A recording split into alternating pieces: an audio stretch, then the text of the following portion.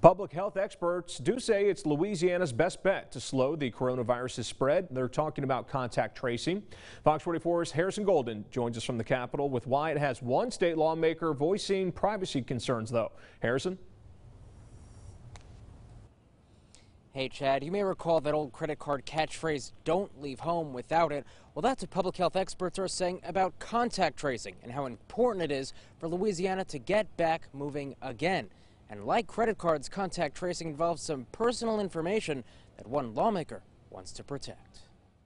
Well, I tell you, a lot of people have been watching the news, of course. State Representative Raymond Crews says his constituents have heard a lot lately about contact tracing. The state has already hired hundreds to ask infected Louisianians who they've come within six feet of for more than 15 minutes. We need to then be able to make contact with everyone that the positive individual came into contact with for about 48 hours before they became symptomatic. What could be done when you uh, amalgamate all this different information? Crews says for the most part he supports how the governor has handled the coronavirus so far, but he calls his latest legislation a guardrail against breaches of privacy moving forward. They fear all kinds of things in terms of uh, getting collecting data on individuals and knowing all their associations and all their business activities and uh, you know just everything about them. LDH says the data tracers log enters an encrypted cloud, which only they and health officials can see. HIPAA laws prevent sharing it with law enforcement, immigration, or commercial agencies. If we want to regain some sense of normalcy,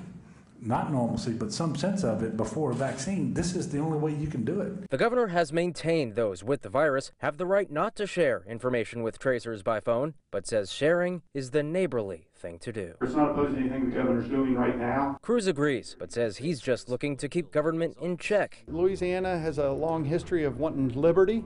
I mean, uh, life isn't just the avoidance of death. His resolution goes next to the full House for consideration.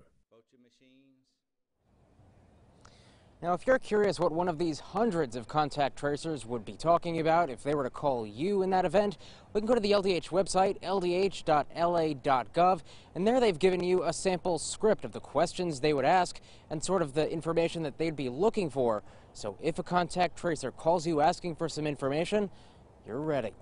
Live here at the state capitol tonight, Harrison Golden, Fox 44 News.